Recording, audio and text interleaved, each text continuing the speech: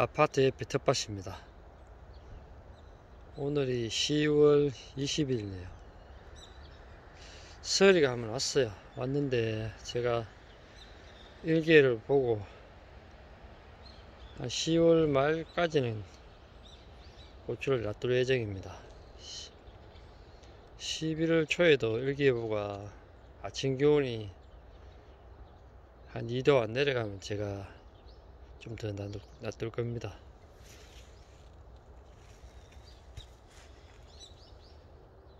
오늘 이제 고추 수확을 좀 했습니다. 고추 장아찌 담으려고요.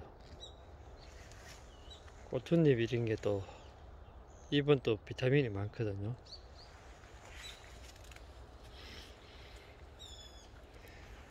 저희 사는 아파트입니다. 아파트 바로 옆에 텃밭입니다. 고추는 한 바구니 가까이 땄어요. 뭐 볼록하게는 안 땄지만 장아찌 담을 겁니다. 제가 요게 이제 경상도 말로 시리남바 보통 유채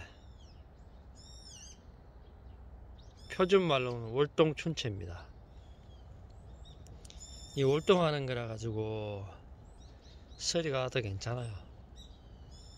제가 10월 9일날 불었습니다. 많이, 많이 컸죠? 이건 상추고요. 상추는 10월 10일날 뿌렸어요. 고추 밑에 상추를 뿌렸습니다. 요거는 냉년에 먹을 겁니다. 춘채도 냉년에 먹고요. 고추도 아직 좀 달려 있습니다. 담은 담은 오늘 다 다 못 따겠네요. 아침에 상추도 9일 만에 발화가 잘 됐죠. 아직 한 열흘 이상 잘 자랄 겁니다. 요건 시금치죠. 시금치도 발화가 잘 됐네요. 시금치도 제가 10월 9일날 뿌리는 겁니다. 시금치도 이거 내년 3월달에 먹을 겁니다. 저희 밭에 예, 텃밭에 가지도 엄청 많아요 아직. 가지도 키가 한 2m 정도 컸어요.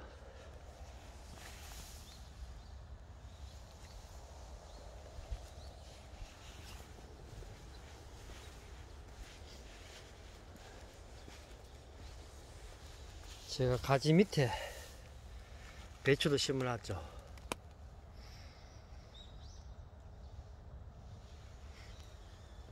가지도 아직 많이 열려 있어요. 주렁주렁 가지가 두 폭이거든요. 요거 옆까지 제가 잘라 하다가 안 잘랐는데 생각보다 많이 열렸어요. 이렇게도 열려 있고 이쪽에도 열려 있고요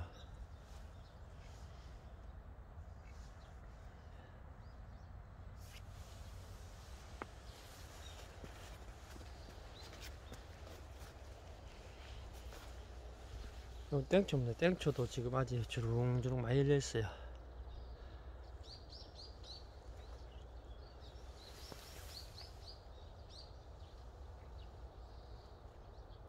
땡초 한 포기 하면 거의 저희들 뭐 겨울에 실컷 먹어요. 된장찌개 끓일 때라든지 육수 필요할 때 땡초 넣으면 좋거든요.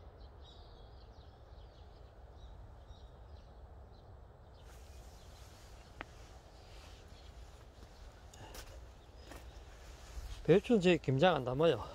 요래 가지고 한 포기씩 한 포기씩 뽑아 먹어요.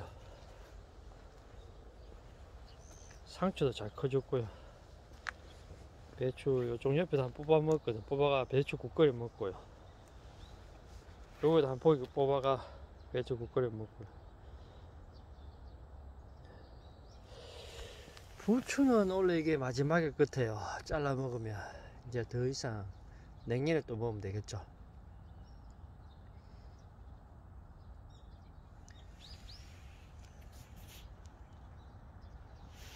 저희 텃밭입니다.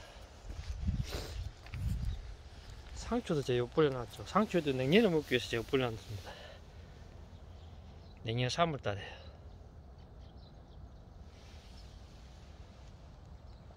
텃밭 관심 있는 분들은 텃밭 해보세요. 해보시면 재밌습니다.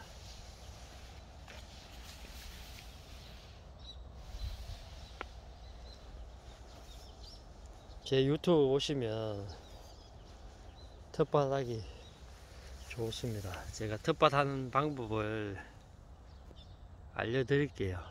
궁금한 거 있으면 댓글 달아주시면 제가 또 아는 선에서 상세히 말씀드릴게요.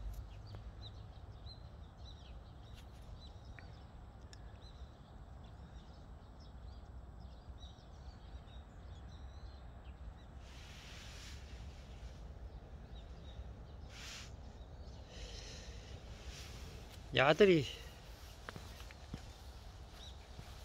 싱겁신데 씨앗들이 심어가지고 발아대는 거 보면 참 기분이 좋아요.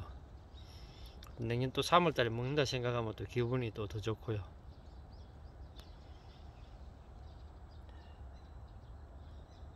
다음에 또 찾아뵙겠습니다.